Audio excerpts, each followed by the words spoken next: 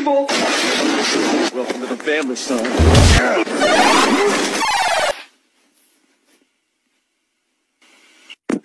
Gonna catch me riding dirty. Man, shut the fuck